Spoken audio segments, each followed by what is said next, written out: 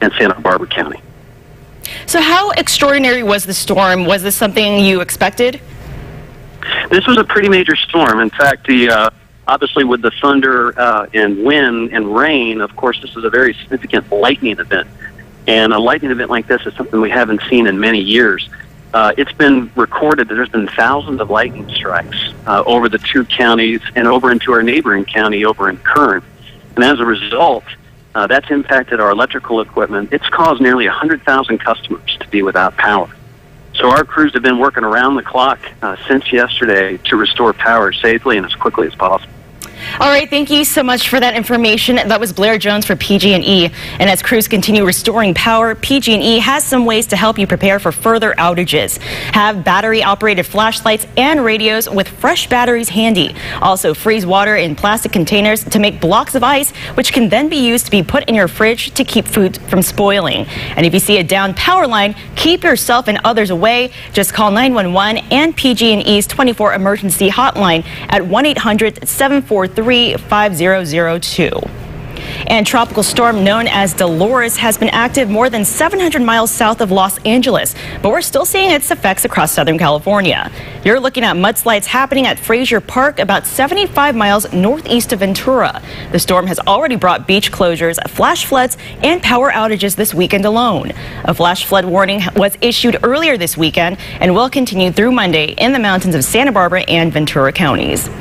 And the summer monsoon caused a muddy mess in the town of Wickenburg. That's about 65 miles northwest of Phoenix. Saturday's storms dumped between two and four inches of rain in hours in parts of the city. No injuries have been reported, but the town's emergency plan has been activated.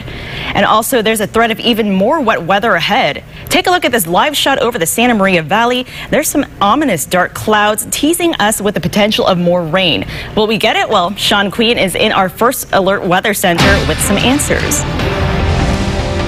Oh, Hello, Nia. Yeah, we're definitely seeing some more energy out there. You can see on our our local radar a lot of the energy that came through today for uh, portions of, uh, say, San Luis Obispo County, now well up into Northern California. But we are beginning to see the first inklings of the next wave of energy, and that is definitely the remnants of Dolores. What we saw a lot yesterday and the day before was uh, the typical monsoon that just got a little bit close to us. Now we're going to start to see the effects of that dying storm again. Dolores beginning to work its way toward us. Also, very, very warm today with the extra sort of unexpected sunshine. We had a little bit of break in the action. That sunshine got down to the ground, really warming places up. A lot of 90s. Santa Barbara as well throughout much of the interior areas. We definitely got very, very hot out there with that humidity. Feeling very uncomfortable, not seeing much in the way of a sea breeze now. And again, as we sort of pull back out, there it is right there. A lot of Dolores energy sort of pluming up into the SoCal Bight, Southern California, if you will, beginning to already go past Palos Verdes, working its way into Santa Monica Bay. Pretty soon, it's going to start knocking on the door of Ventura County and then as well for just about all of us. So again, I'll be back in just a moment. We'll talk more about the details of what to expect. We're really keeping a very close eye on all this tropical activity. And as well, we have the answer to when we might see some normality coming back in, in the form of uh, maybe more sunshine, a little bit drier, and maybe even some marine layer for the coastal areas. And again, all that in just a few moments. Nia?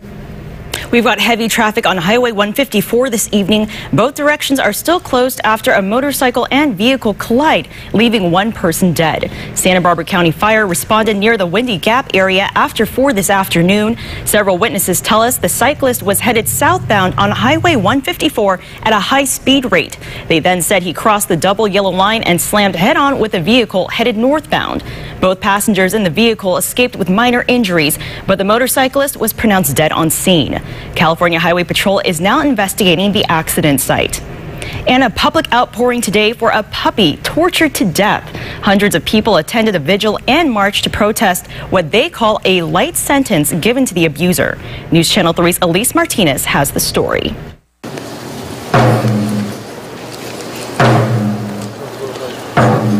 One by one, people came to the Santa Barbara Courthouse sunken gardens to stand up for a puppy tortured to death. Well, Davy doesn't have a voice, but we are his voice. So when we show up, each and every one of us, we make a difference. The five month old Doberman pinscher was mutilated by Duan Yin Chen, who pleaded guilty to felony charges. There was not one bone that wasn't broken, including his spine.